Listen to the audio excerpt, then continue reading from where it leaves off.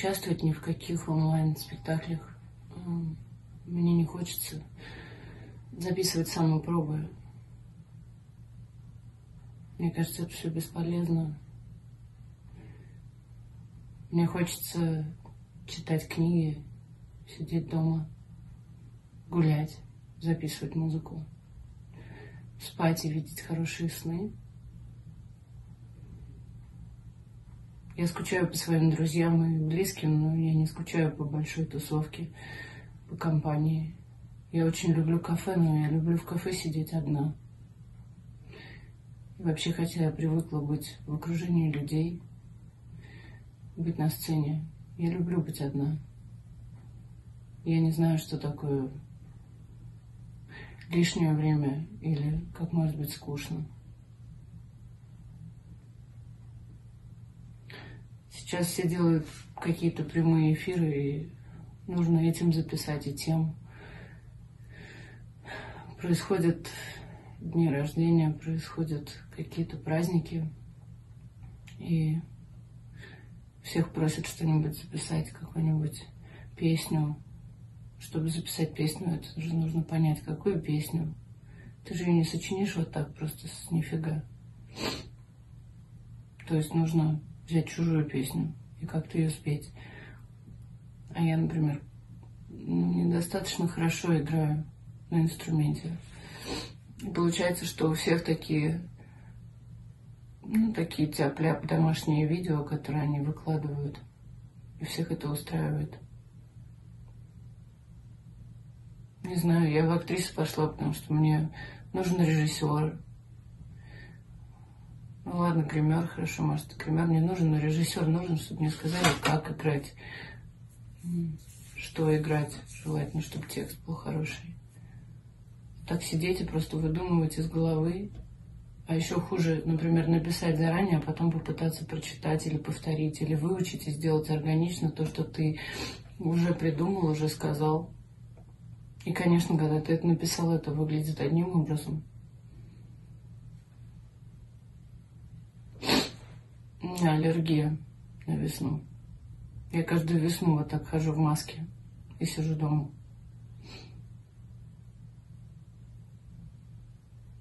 Все время говорю, что мне хочется работать, а вот сейчас мне не хочется работать совсем. Я уже два месяца не работаю, и мне очень нравится.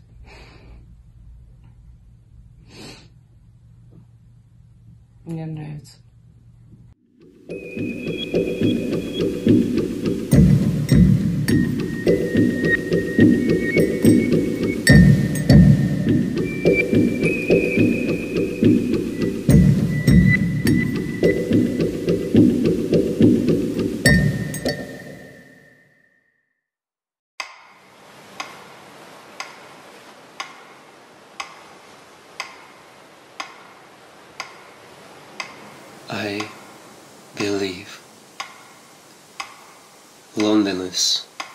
Does not exist. I have a lot of me inside.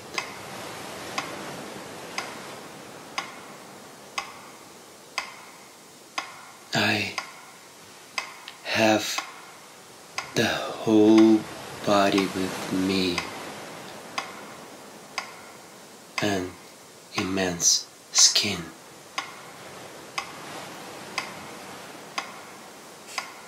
I am like a map of the whole world. I'm like the deep, dark sea.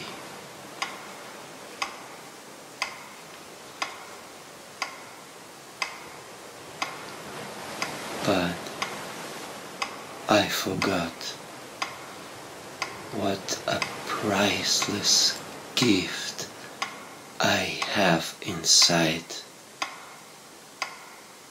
when you stop touching my body.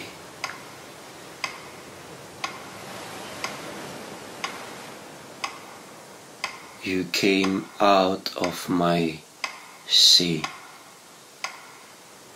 and never came back.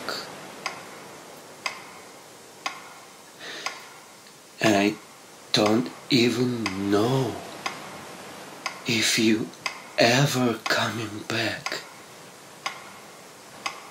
Maybe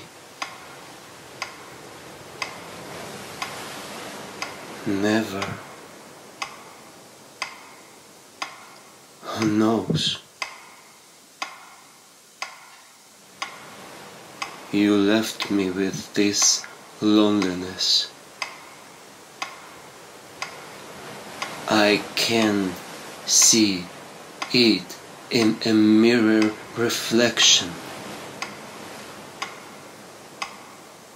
Makes me please and touch myself.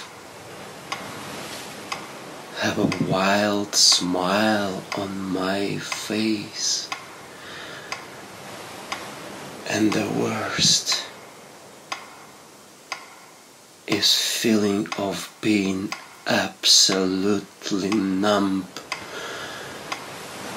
and even submissive. Wow. Like it's endless and timeless stillness or even paralysis inside my body. I have no idea what would happen next without you, without those waves that calling surf and charming storm like it's endless and timeless stillness or even a paralysis inside my body. I have no idea what would happen next without you. Without these waves that calling surf and charming storm, without these waves, without the surf and I have no idea. Like it's endless and timeless stillness or even a paralysis inside my body. I have no idea what would happen next without you. Without those waves, that calling surf and charming storm, I have no idea what would happen next without you, without those waves, the calling surf and charming storm, I have no idea what would happen next without you.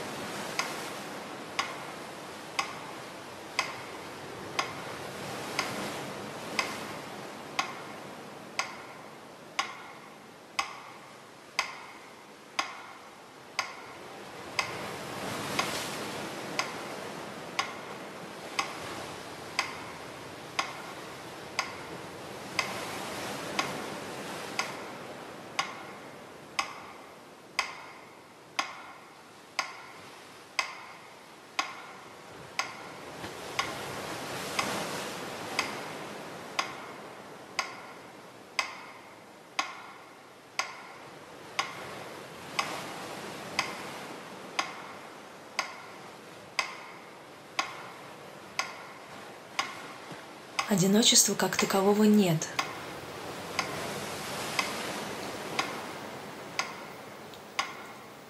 И во мне много меня самой.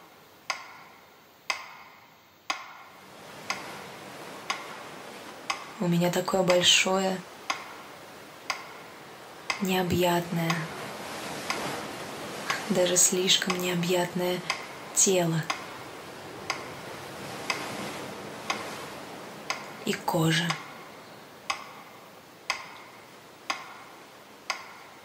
Я карта. Я море.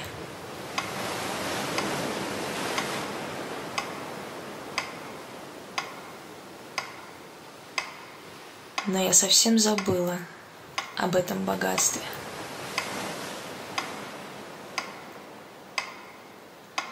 Когда ты перестал касаться моего тела и ушел.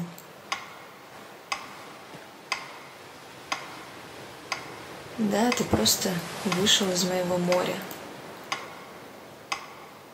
и не вступал в него больше.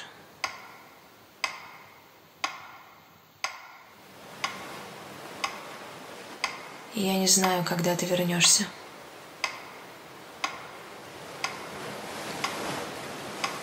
Возможно, никогда.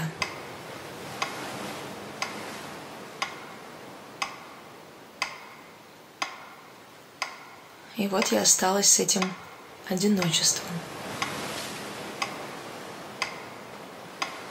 Я увидела его в отражении.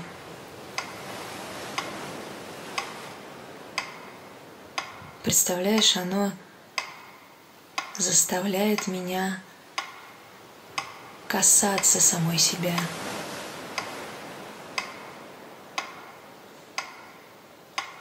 Странно улыбаться. Но самое страшное, оно заставляет меня быть ровной и смиренной.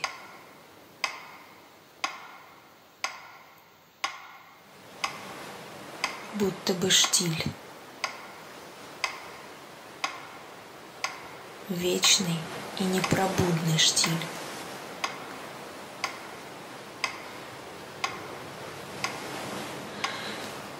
И мне непонятно, как дальше.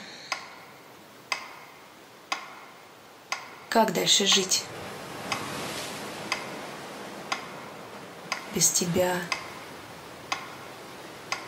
без волн, прибоя и шторма.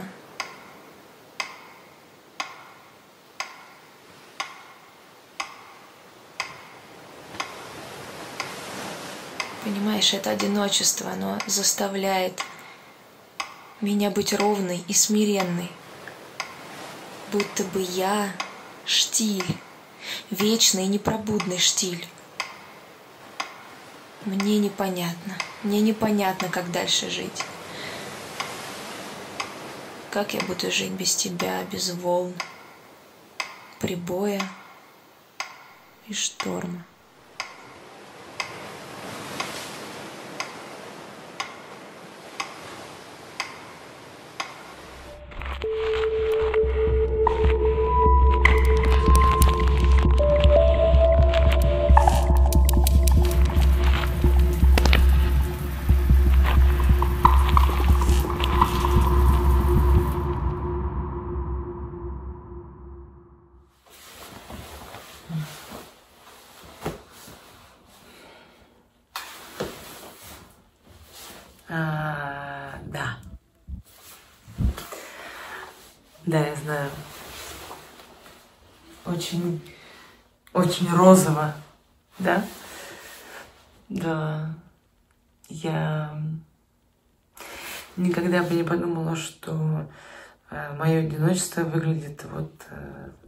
Так.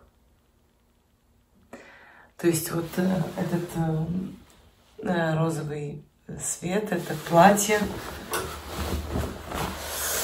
А, я чувствую себя прям такой девочкой-девочкой. Но это скорее приятное ощущение, приятное просто какое-то незнакомое. Я росла пацанкой в многодетной семье. У меня никогда не было своей комнаты. И у нас э, шестеро детей. И я постоянно так или иначе э, ну, была с кем-то. Хотела бы я, чтобы у меня была такая комната, э, на наверное, нет. Когда я встретила Женю, э, это мой муж, э, я ушла жить к нему в сквот, нас там было шесть человек, а потом мы э, переехали в другой сквот, там нас было, наверное, даже больше, да, и нигде, конечно же, не было такой а, розовой комнаты. Всегда вокруг какая-то много людей, много какой-то движухи. А, то есть, эм, уйдя из родительского дома, я сразу стала жить с парнем. И живу, собственно, до сих пор. И у нас появился еще один парень, а, в смысле сын Корней. И вот с его появлением я стала отчетливо замечать за собой какие-то папины привычки, какие-то мамины интонации, э, типа «Так я сказала!» Так все, считаю трех раз. Я сказала два, три.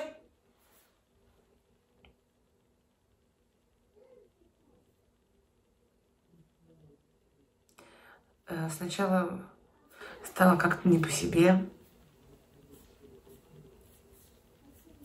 Ну, как будто бы это не мои слова.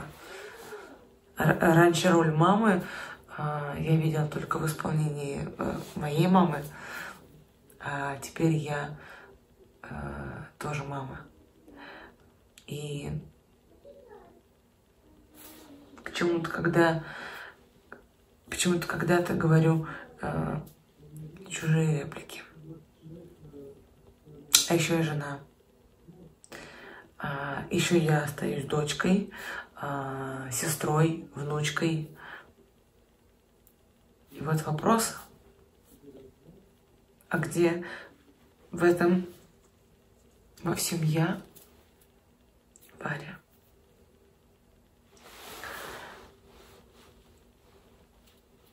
А вот она я. Вот. Прямо сейчас перед экраном.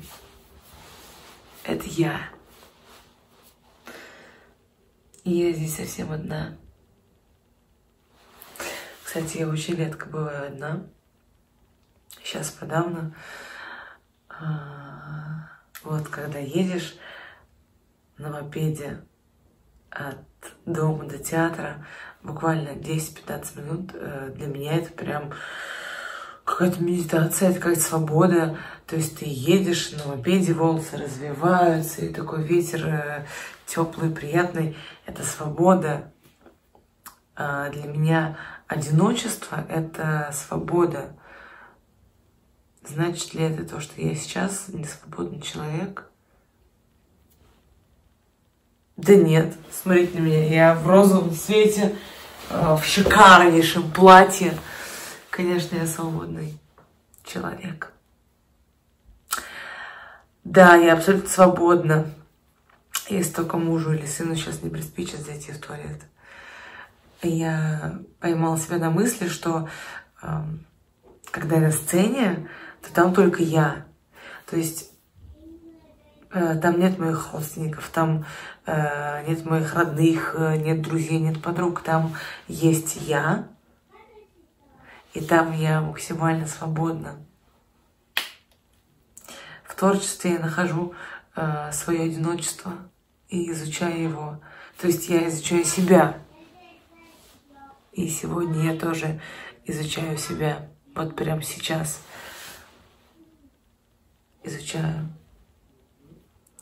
И оказалось, что мое одиночество выглядит вот так вот на данный момент.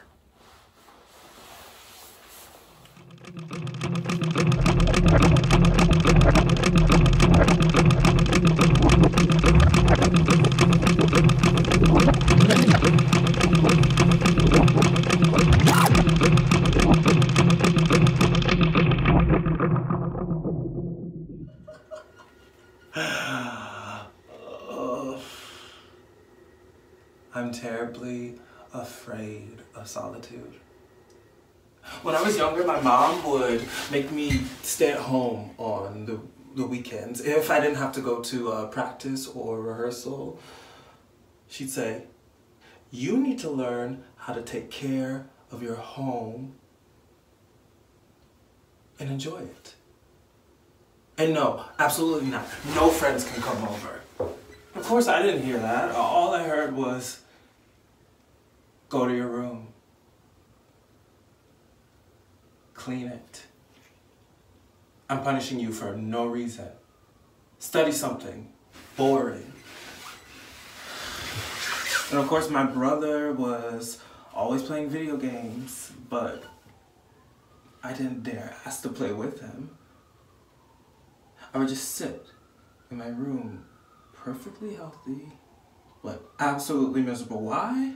Because I craved outside. I wanted to explore the outside world. I wanted dirt and adventure. A ball of spiraling energy just waiting to grow and break out. But I was bored. Bored. So, so, so, so bored. I think out of this loneliness, or longing to be outside my imagination spiraled, I would create these scenarios out of stuffed animals to pass the time. Loneliness led me to a world of wonder. Thinking of then and now I guess it's no different. I mean, some days are more difficult. Now I have to pretend more, but with true ambition, I can turn my apartment into the Champs-Élysées in Paris. Loneliness is empowering.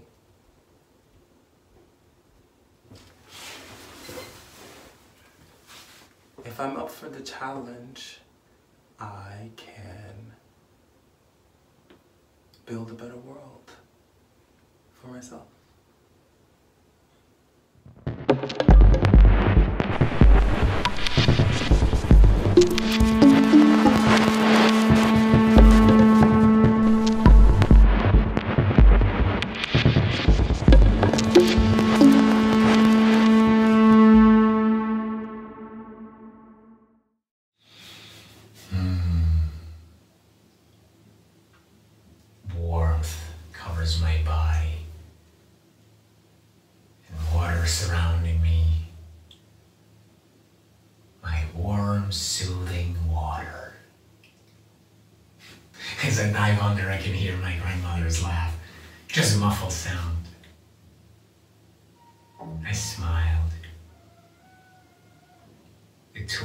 The, my toys that float around, they look so big from under here.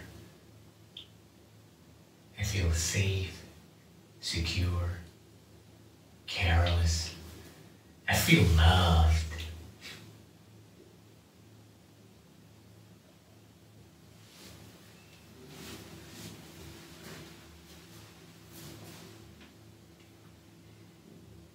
When you have nothing, this was everything. As it gets. I wanted to hold that feeling for eternity. But that feeling is gone now.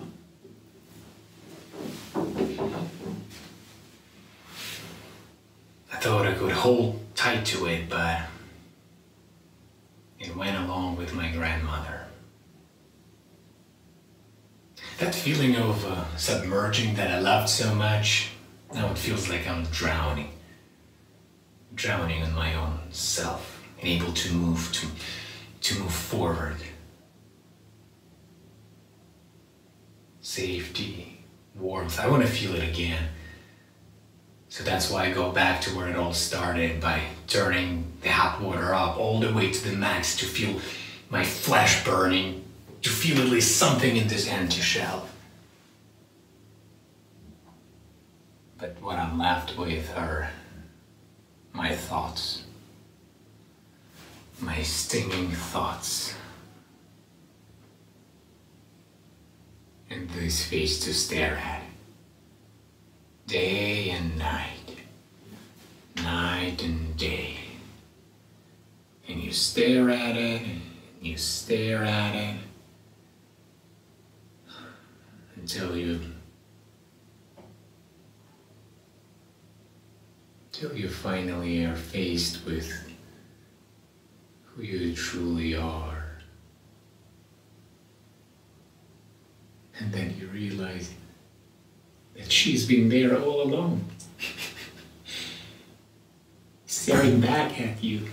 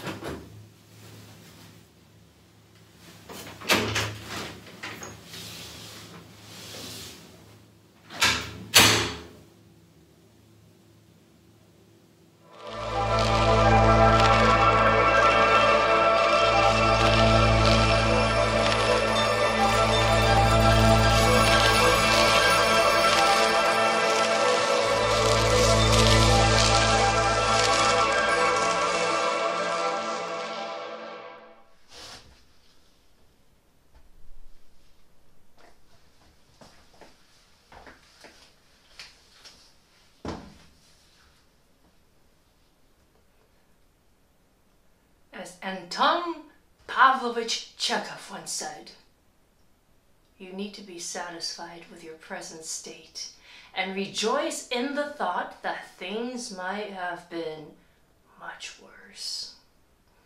Yeah, self isolation is no fun, but here's a story for you to put things into perspective.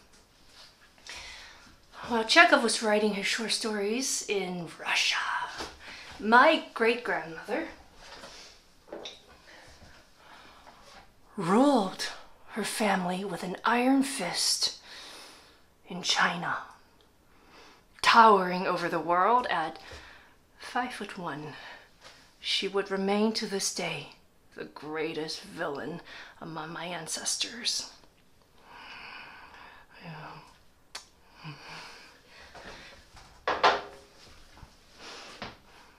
She was not loved, but feared. Her own husband fled the country. That's my great grandfather. Ran away. The official reason for this was uh, he had to run from communists, but really, we think he was just trying to escape from his wife.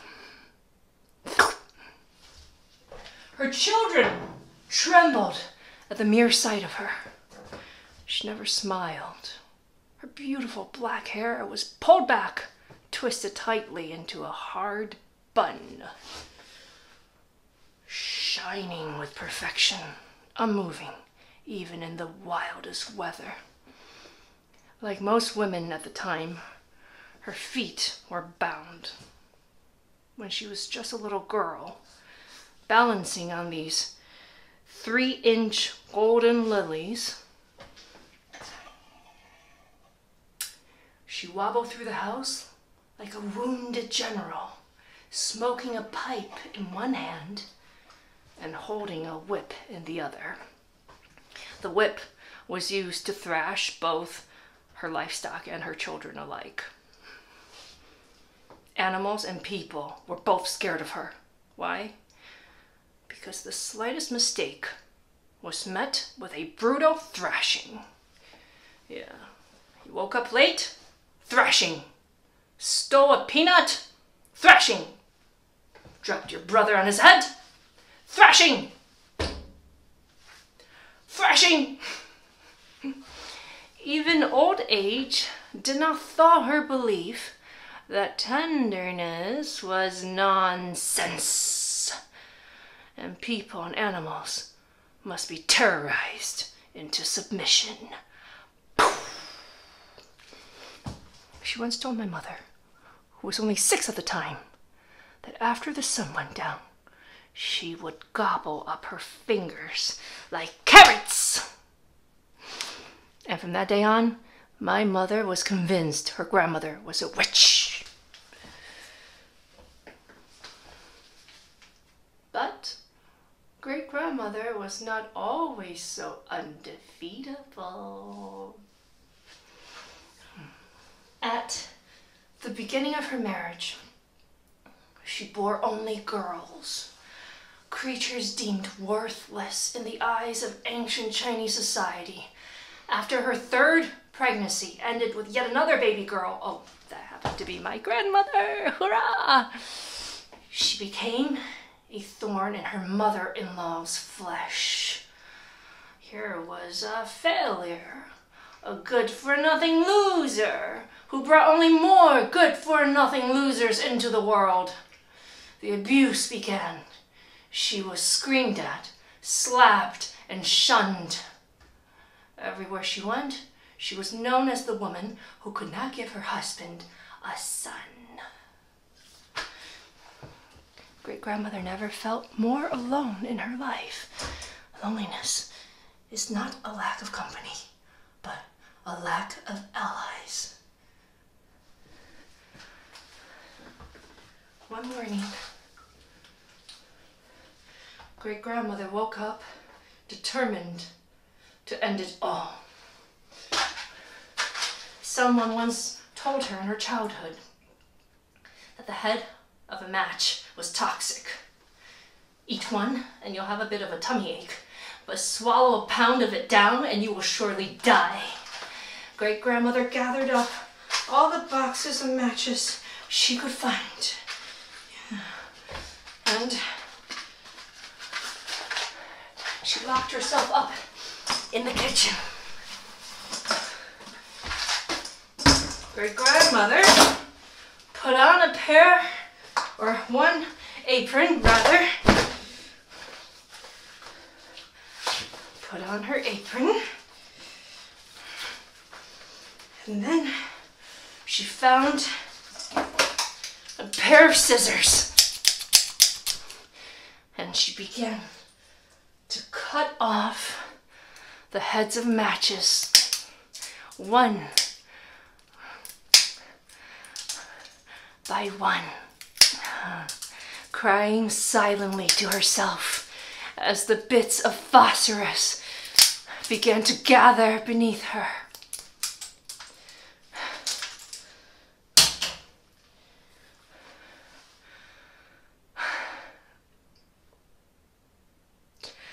So, this was life. Oh, well, how unfortunate it was to be a woman. Education denied, feet bound, endless beatings. In the next life, it's better to reincarnate as a dog than to be born a girl. Great grandmother picked up the last match, clipped off its little head, and threw it into the heap. The little match had bounced, rolled down the pile, but somewhere along its journey, it caused just a single little spark. And then suddenly, poof! And all at once, all the match heads were consumed by a fantastic fire.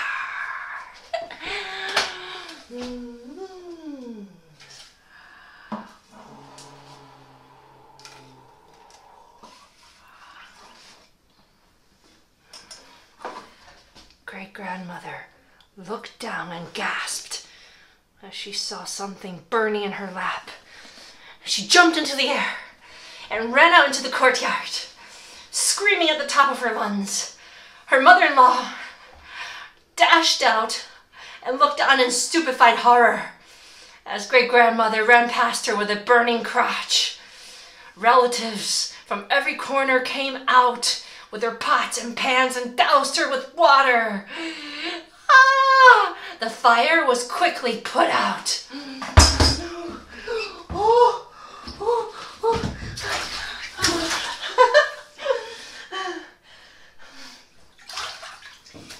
silence ensued.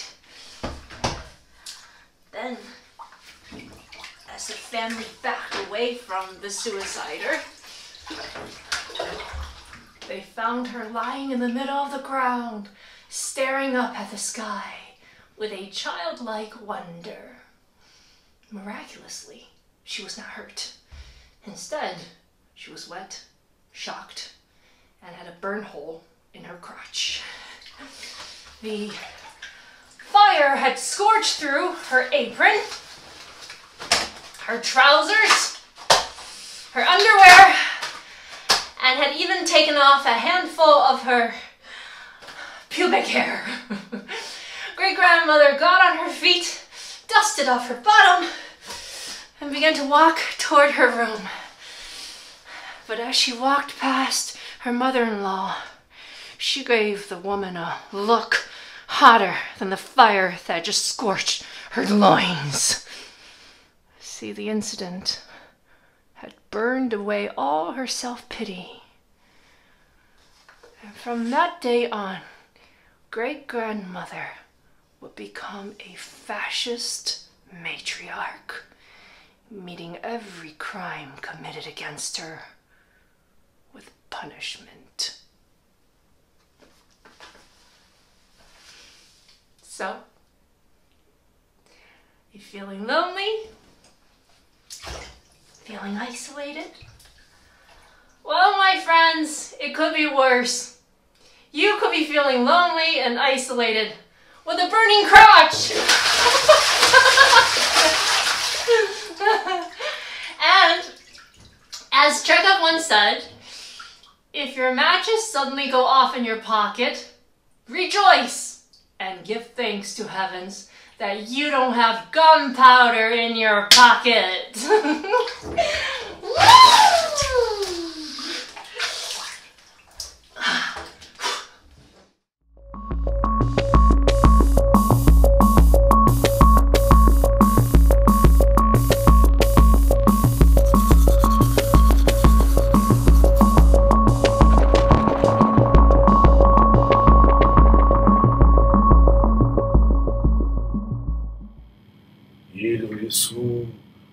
нож злодею Попадуся в стороне, Или от скуки околею Где-нибудь в карантине.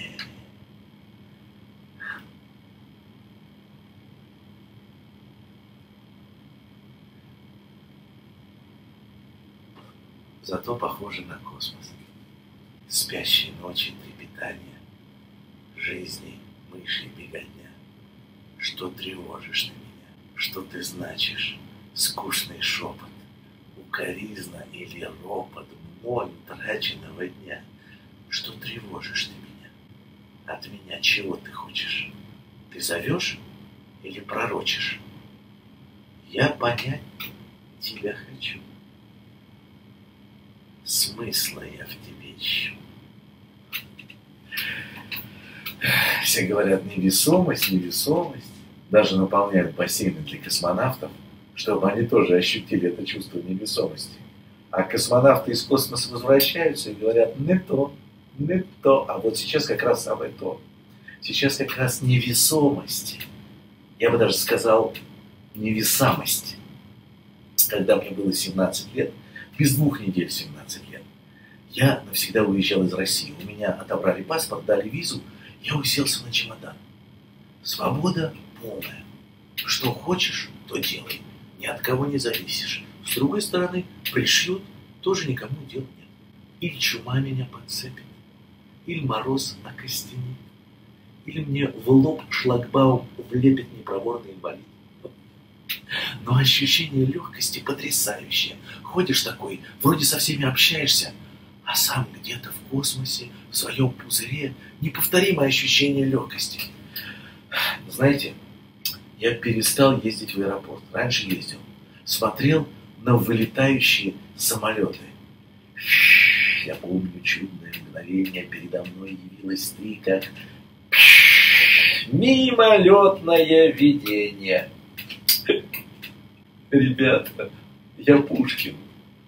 Он ведь тоже поехал в Полдино и задержался. из-за карантина. Через холерные кордоны пройти не смог. И еще он перед отъездом поссорился с тещей. Правда, из-за будущей жены и письменно. То есть теща узнала, что ее послали только через два месяца, когда пришло письмо. А я перед самым карантином поссорился с тещей без всякого повода и по телефону. Не важно. Теперь я знаю, я точно Пушкин.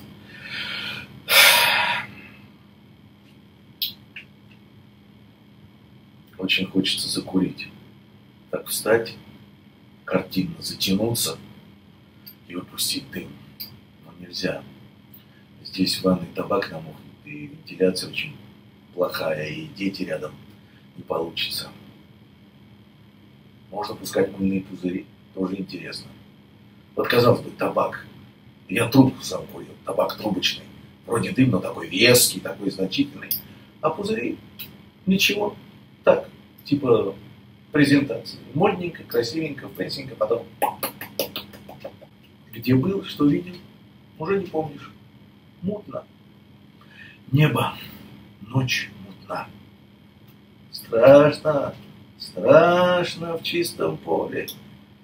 Тихо, тихо, тихо, тихо, тихо, тихо, тихо, тихо, тихо. Я же, я же тут один, я же тут совсем один. Это мое личное одиночество, это мой мыльный пузырь. Почему здесь посторонний? Ау, стоп, стоп, стоп, стоп, стоп, стоп. А чего волноваться? Люди так отваливаются. Бывшие очень-очень нужные люди. Казалось бы, всю дорогу дружил, и вот раз, не звонишь и не хочется, наверное, непорядок. Он же твой друг. Странно я меняюсь в карантине. Но ведь они тоже меняются. И исчезают за ненадобностью. И ты тоже исчезаешь для них за ненадобностью.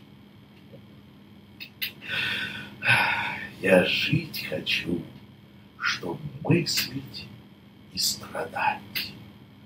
Только вот не надо, только без этого, без этого анонизма. Сколько это будет продолжаться, знаю только я и дядя Вася. А сколько бы это ни продолжалось, мы все с чем-то выйдем мы все что-нибудь да заработаем. Что-нибудь нам с этого карантина да перепадет. Между прочим, я тоже заработал. Я этой короной переболел еще в самом начале. Правда, без инстаграма с вывесками на шее, умираю, но не сдаюсь. Кашель сухой, сам я мокрый. Температура за бортом 36,6. Вот без всего этого. Просто переболел и все. И потерял чувство послевкусия и запаха. А вот у меня есть попугай, Рафик. Он такой, Рафик такой кавказский попугай, я к нему всегда обращаюсь как невинная девушка, потупив взгляд, говорю, ты у меня второй, потому что первый попугай у меня был Изя, он умер от запаха аэрозоля. Так что я при нем не-не-не-не. Но пришлось что-то покрасить. Так я на удаленке, из уважения к Рафику и к памяти покойного Изеньки покрасил. Чувствую, акриловая краска запаха не имеет. Как же это может быть? подношу свой нос близко-близко, вдохну, и далекий-далекий запах акриловой краски. Значит, все-таки потерял. Значит, все-таки не восстановилась. Значит, все-таки теперь буду жить с ощущением без. Что тоже интересно. Все, все, хватит, все.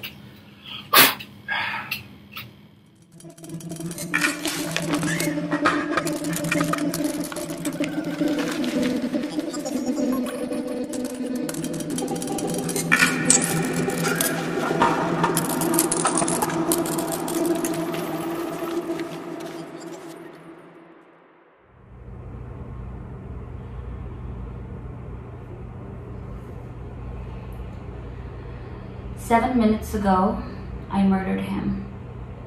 In my solitary. He wasn't alone. I only noticed that after I smashed him with a fork. Number two came out and did not run away as they normally do, watching my coffee dripping. Cockroaches don't cry. What was he thinking? What was I supposed to do? He came out of my own coffee machine. I had no choice. And now I'm stuck here with its body and his friend.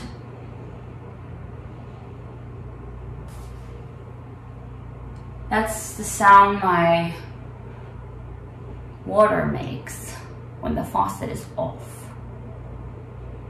Water wants to go from high to low, back then. Before now, when I was small, I used to think of myself as water. I would imagine myself completely dissolving and becoming water. Imagining my potential disappearance and who in the world would come to my funeral.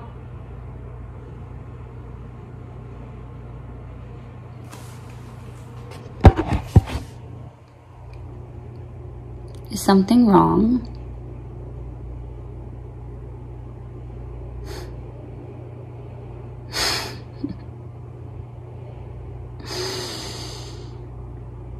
I was 12, I fired my nanny. That same year, my period started. Grandpa came to make up my bed. He folded the blanket, the pillow. He noticed the sheet wasn't there. Where is it? I hid it. I don't know. I don't know isn't an answer. I'm not telling you what to do. You decide for yourself. Inheriting the unsettling search for the better self. Waiting for everybody to leave so I can be alone. I hate being alone. Escaping to sleep, waking up to the same. Standing by people's windows to run away. Wearing the same clothing in the summer and in the winter. Hiding, smoking, stealing cigarettes. Smelling like metro and gum.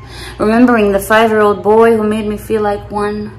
Older friends treating me with pork fat sandwiches, modeling the proper way of adulting. Finding a sachet of my childhood hair in a plastic bag only to give me a wave of anxious memories about the forgotten past. Moving from one place to another to another, moving, getting used to something, getting used to it, withdrawal. No, there was an order until there wasn't. Avoiding by all means meeting the very person who is me. No more recourse to pretend, and the infinite capacity is an infinite after all. I haven't washed this bathroom in weeks. I haven't showered in days. This place. Who put me here and for what? The non-space. I fit here so well.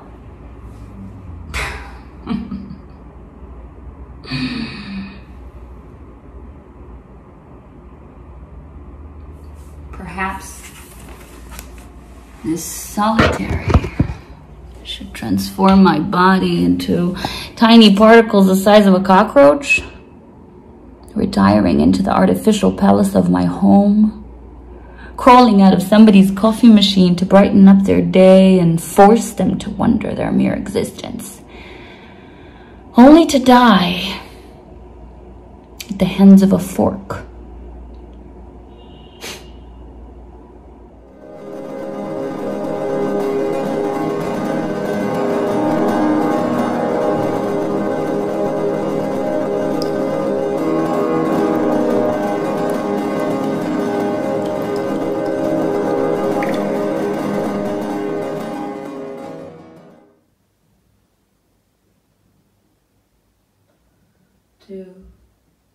Three, four, five. How long has it been? Since you left again? Where did you go? Didn't you say this would be the last time? And if it's going to be the last time, if you come back, it'll be the bitter end because that's how we live together in misery.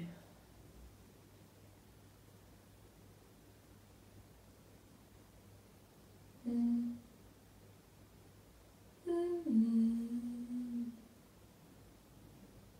Mm.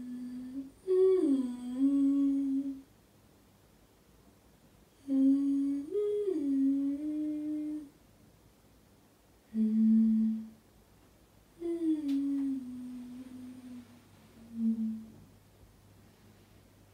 Spring.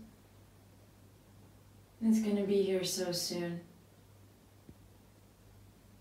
I'll be back, I promise. It'll be so lovely for us. We can finally be civil with one another. We can talk about our love, and when we talk about our love, we can finally look out at the garden. and see everything in bloom again. We can wander the streets of Paris and not think of anything. We could just go and breathe and feel. It would be so nice.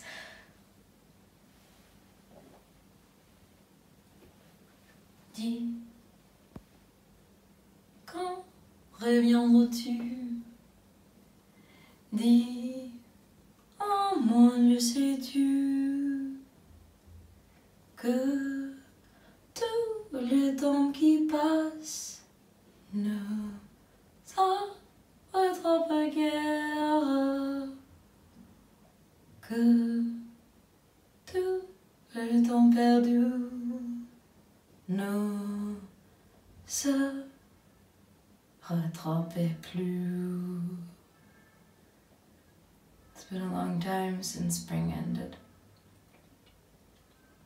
The scorching sun is gone. And I can feel the fall air. It's autumn in Paris and it feels so good. I can feel everything change. I feel alive. I can breathe. It feels open. It feels like I'm dreaming. I'm shaking. I have all this energy moving through my body. It feels so good. Ah, Can you feel it? I feel like everything is going. I come, I go, I turn, I veer. I come, I go, I turn, I veer. I stumble, I fall. I'm breaking, I'm stuck. I come, I go, I stumble. I can't get you out of my head.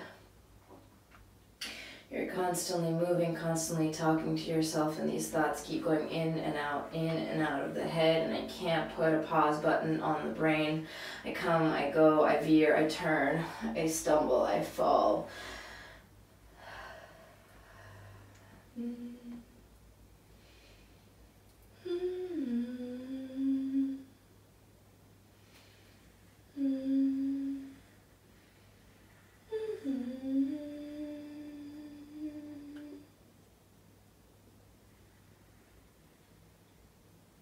much as I still love you, as much as I'll always love you, as much as I'll only love you, as much as I'll love you so truly, if you don't come back, you'll just be a memory. And the world is an amazing place. So if you don't come back, I'll find another sun to warm me.